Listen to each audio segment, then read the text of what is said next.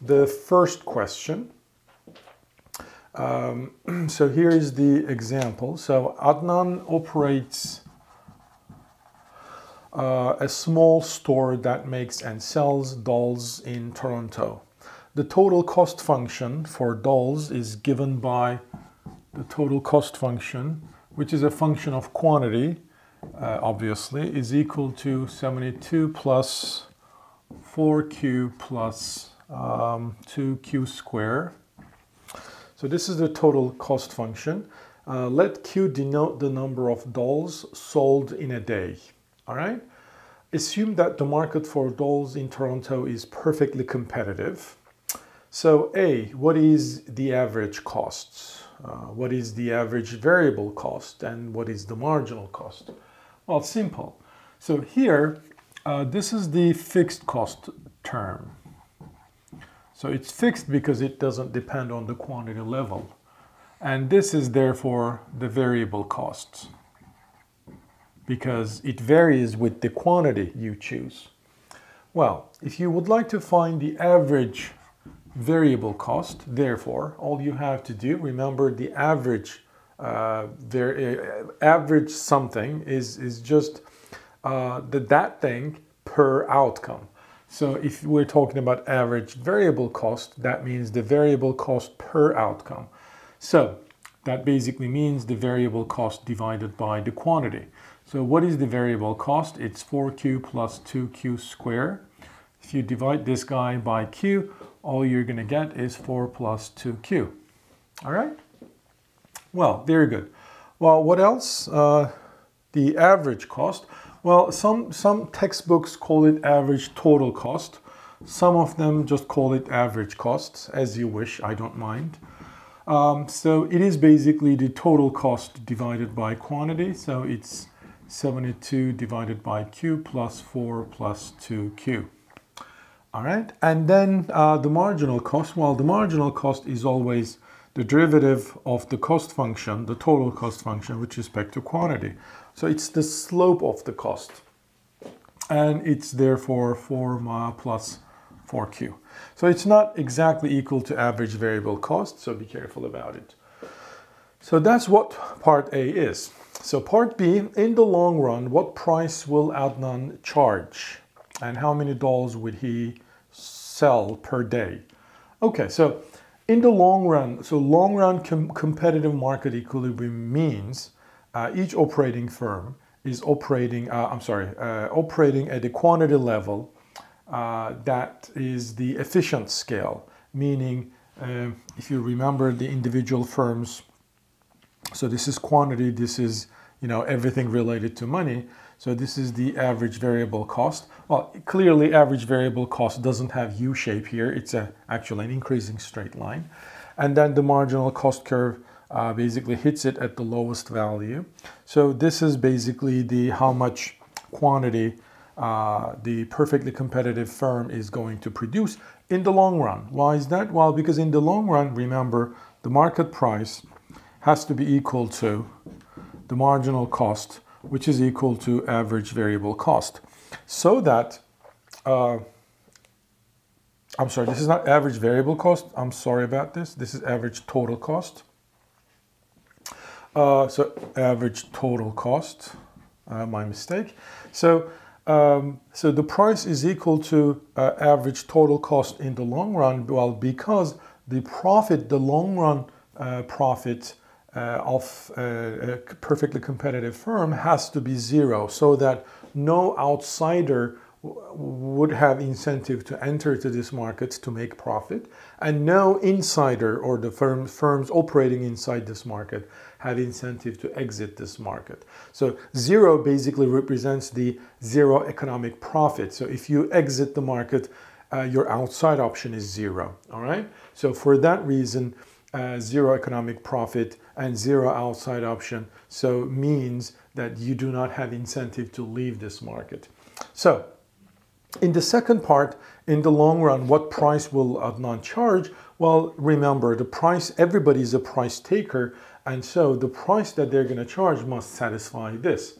Well, how do we find this? Well, obviously we have to find the point where the marginal cost is equal to average total cost. So I have the marginal cost, I have the average total cost. And so if you set them equal, so marginal cost equals average total cost is going to give me 4 plus 4q equals ATC is this guy, 72 divided by q plus 4 plus 2q. So 4's cancel out, 2q, 4q, so I have 2q equals 72 divided by q. So if you do the cross product, you're going to have 2q, well, this 2 and 72 simplifies to 36. So that means q squared is equal to 36. Obviously q is minus or plus, uh, 6, but we know that quantity cannot be minus. So therefore it's plus 6. All right? So um, he is going to uh, produce 6 units of output. And well, what price does this correspond? Well, again, you can uh, in, uh, plug this quantity value into the ATC cost curve or the marginal cost curve, doesn't matter because they're equal to each other at that quantity level, and then find the p-value. Well, obviously ATC is a more complicated functional form, so let's use the marginal cost. So therefore, price equals uh, marginal cost at uh, quantity 6. So 4 plus 4 times 6. So this is 24 plus 4, $28. All right, so the market price is going to be $28. And, and this producer is going to produce six units. All right? So what is next? Well, this part C is asking if the price of dolls increases to $40, how much profit would Adnan make?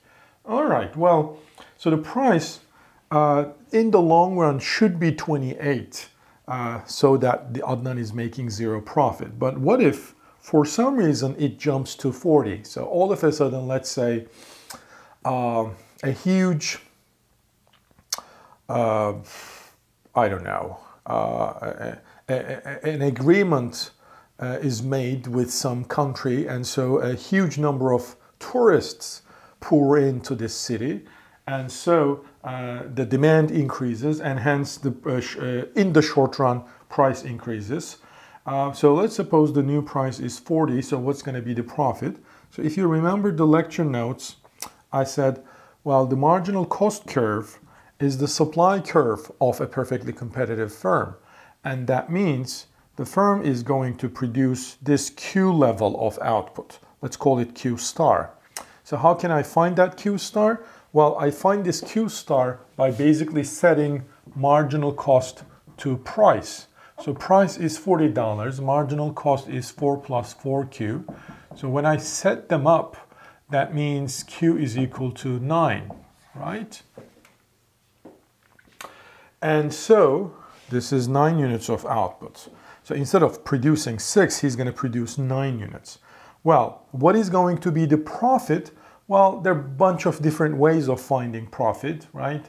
Uh, but the simplest, well, I mean, one way is uh, profit is equal to P times Q minus total cost, which is price is 40 times quantity is 9 minus total cost of producing 9 units. So it's 72 plus 4 times 9 plus 2 times 9 square, right? Whatever that number is. I don't know if it is easier, but an alternative could be, you know, as we graphically did. So we calculate the ATC here, right? So what is ATC? When you produce nine units. So ATC, the average total cost of producing nine units is 72 divided by 9, so which is 8. Uh, so this is 8, plus 4 plus 2 times 9, which is 18. So this is to me, uh, I'm sorry, uh, we're not yet uh, the, the found the profit, but it, to me it seems like an easier way. So 18 plus 4, 22 uh, plus 8, 30. So this is 30. And so the profit is basically 40 minus 30 times the number of quantity you produce. So P is, remember, pi is, I'm sorry, uh, price minus ATC times quantity. So here price is 40, ATC is 30 times quantity 9. So the profit is equal to $1090. All right? So this is $90 of uh, profit. Any question? All right. Well, then the final part, the market demand for dolls. So up until this point, by the way, if you realize, we didn't talk about what the market demand is. Uh, well, because we don't really need the market demand. But now we would like to find the number of operating firms uh, in the long run. So let's read the question. The market demand for dolls is given by this functional form. Quantity equal, so the quantity demand is equal or supplied is equal uh, 3028 minus P. All right, so P is the market price, Q is the total output. Uh, so Q is the total number of dolls sold in the entire city in a day. In the long run, how many stores will be in dolls business in Toronto? Well, here, obviously, we are making a simplification assumption as what?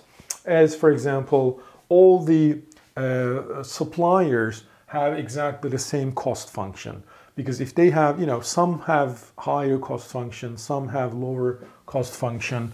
So we can't really I mean, the, the problem could be a, a bit more uh, complicated.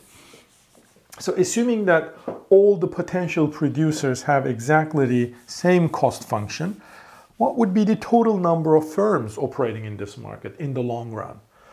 Uh, well, how do we find this outcome? Well, um, kind of simple. So in the long run, so if you remember the graph, so you don't have to graph every time, uh, but I'm trying to explain the reasoning behind the solution. And so this is why I am graphing it. So this is what an individual firm's average total cost and marginal cost curves will look like. So remember we said in the long run, uh, each firm is going to produce six units of output. So this is individual firm, individual firm or producer. And in the long run, the price should be $28. All right, well, what does that mean? That means in a perfectly competitive market, the market price is also determined by the aggregate supply and the aggregate demand curve. How so? Well, it's the point where the aggregate supply curve and the aggregate demand curve intersect one another. All right? So this is where this point of intersection should be. All right, so remember, so what do we want? Well, we want to know this quantity, Q. Well, what is this quantity? Well, this quantity is, so this is a market quantity. So we know that each individual firm will produce six units. So it's six times, uh, let's call it M, where M is number of firms in the long run. Well, by the way, there are few things that we cannot answer in this question. One of them is what would be the short run number of firms in this market when the price is $40, for example. Uh, all right, so, but we can answer this question. So, in the long run, we know that each firm should be uh, producing exactly six units of output, assuming that everybody has exactly the same cost structure.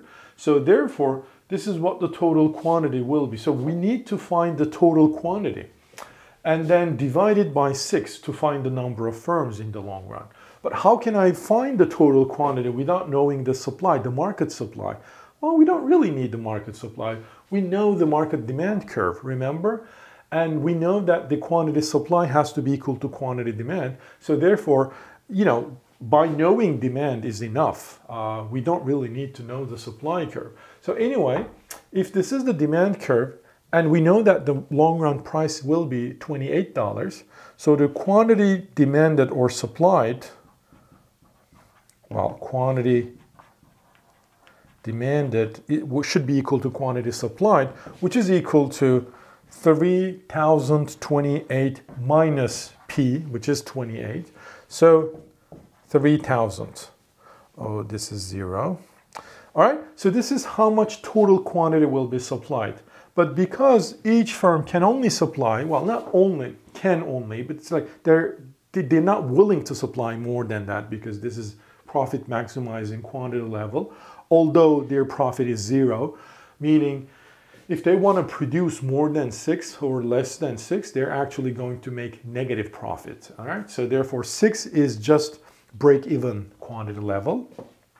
So because there are, I'm sorry, each firm produces six units. Uh, well, then M, the number of firms operating in the long run in this market, will therefore be 3,000 divided by 6. So it's, uh, I think, uh, 500. All right, so in the long run, there will be 500 firms in this market.